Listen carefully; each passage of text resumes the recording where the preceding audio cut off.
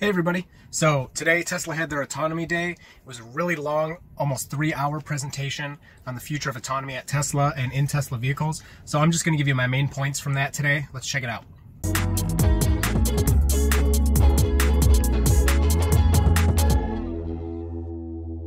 So these are the points that I found interesting and I think others would be interested in. So first up is LiDAR is lame. That's a quote from Elon.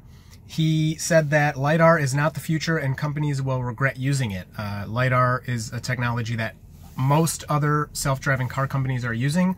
You'll see uh, in a more primitive version the, on the tops of the cars, the big spinning thing. Um, that's how the car is kind of mapping the environment around it versus the cameras like a Tesla car uses. So in relation to the LiDAR, uh, Tesla talked a lot about vision being the key to full self-driving, meaning their camera solution. So in Tesla vehicles, there are eight cameras surrounding the car looking in all directions, uh, which is combined with, with other methods, um, radar and ultrasonic sensors. But the cameras are the main way for the car to look around, interpret the surrounding environment, and make decisions. And so Tesla thinks that's the way to go forward. That's the way they're going forward. They just need a powerful enough computer, which now they're claiming they have. So that was the first part of the presentation, talking about the new full self-driving chip.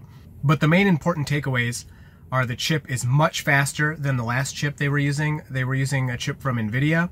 Now they have an in-house chip that's made by Tesla, designed by Tesla. Tesla is saying this chip is 21 times more powerful than the one they're using now from NVIDIA. And they will begin uh, retrofitting cars soon so that all Teslas on the road now that have the hardware 2.5 can easily be upgraded to hardware 3.0 by a mobile service tech. Another interesting point Elon talked about was having robo taxis uh, by 2020. Um, so this is Model 3s that can fully autonomously go to pick people up. So the car is either owned by Tesla or an individual like you or I, and we or Tesla can send the car out to pick somebody up. They use a new app being designed by Tesla, and they can get a ride much like an Uber or a Lyft, except there's no driver. Um, so Tesla will make money. If it's their car, of course, they'll make a lot of money. If it's, say, my car, then Tesla just gets a share of, of my uh, earnings. In relation to the robo taxis, Tesla also announced an update that will eventually come to their app that will allow cars to join these the robo taxi fleet. So if I wanted my car to be part of that and make me money, let's say I get to work and my car's just going to be sitting in the parking lot all day, I can go in the app and I can turn it on so that my car is now a taxi, basically. Somebody else nearby opens the Tesla app and requests a car. My car will just on its own drive over to that person. Uh, they'll get in and go to their destination. My car can continue driving around uh, and making me money while I'm at work. Another thing that was talked about today that I found really interesting was shadow mode. Um, so if a Tesla is driving down the road, even if you didn't buy autopilot, you don't, you can't use autopilot. Your car is constantly acting as if autopilot is enabled. And when, and it sees what it would do in a situation. And then if you do something different than what the car was deciding, it can kind of compare what you did to what the car thought it should do.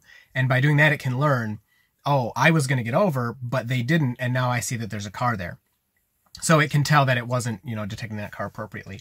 Or you did get over and the car goes, well, I wasn't going to get over. And then it can see, oh, there's, there's maybe something in the road there. Maybe that's why they got over. And so the car is always learning in the background, even if you're not using autopilot. Everyone driving a Tesla with probably hardware 2.5 or maybe hardware 2.0 is always helping autopilot get better, whether they're using autopilot or not. So that's really interesting. And, and some people might not like their data being sent. It is optional. You can go into the settings on your car and turn that off.